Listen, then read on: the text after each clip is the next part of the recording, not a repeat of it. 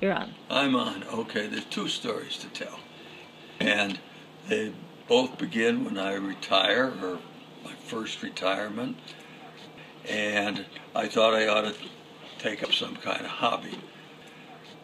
First one, there's a lot of dead wood around here, so I thought I would carve it, or, or take up wood carving. And uh, when I started doing that, I I dreamt of carving merry-go-round horses. But then I found out two things. One, the people who would carve merry-go-round horses did work that was so beautiful I didn't think I could do it.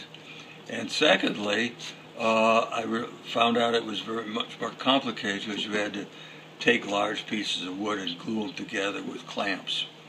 So Mhm. I decided I wanted to just uh, carve on old logs around here and old pieces of wood.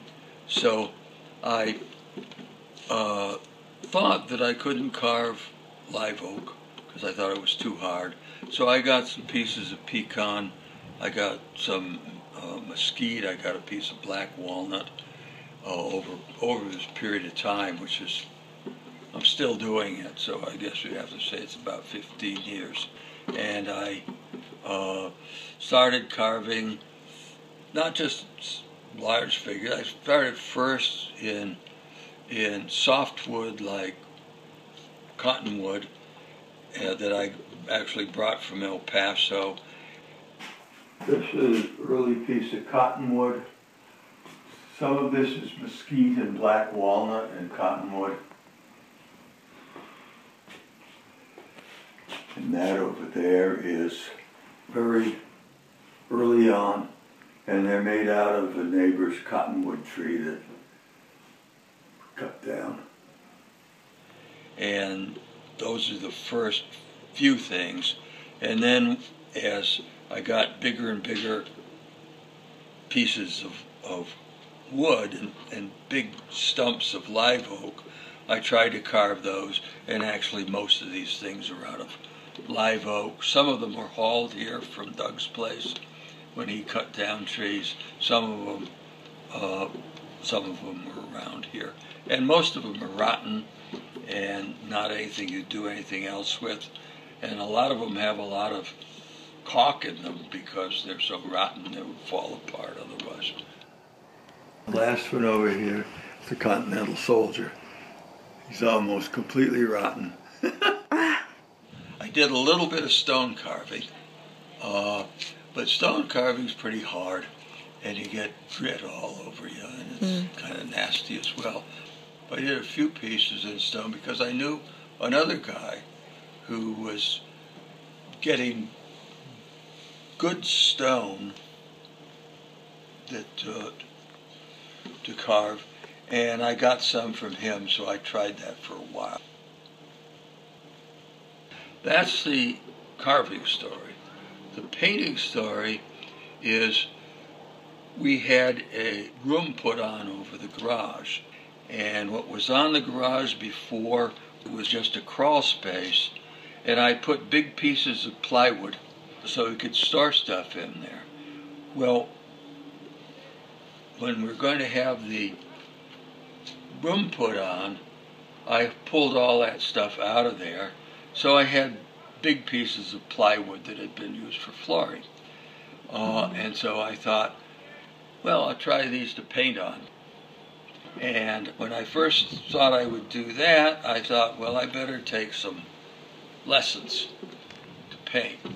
And then I decided I was going to paint uh, with house paint and regular painter's brushes. And when I thought about what I was going to do, I realized nobody painted like that, so there was no point in taking any lessons. Uh, and that's the story on the painting. So I think that's the whole story.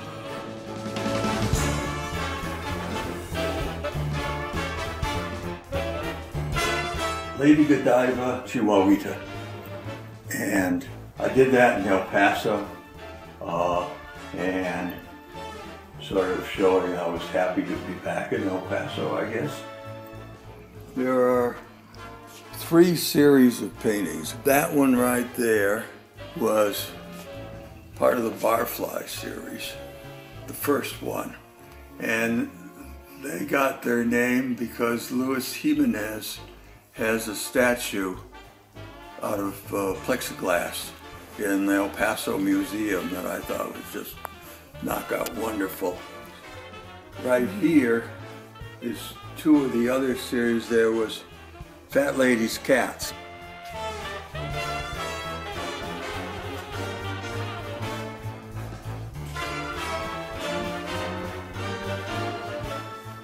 And then up above, that's not Fat Lady's Cats, that's uh, Vistas Placidas.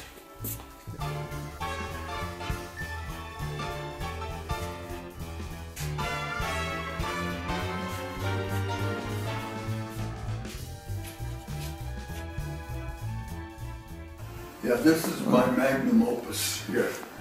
This, the first lunch. It's almost exactly the same size as the Last Supper, hmm.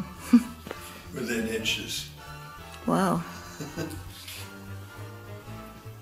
Except uh, Leonardo da Vinci has got a lot of wasted space in his. Right. There are lots of critters down below.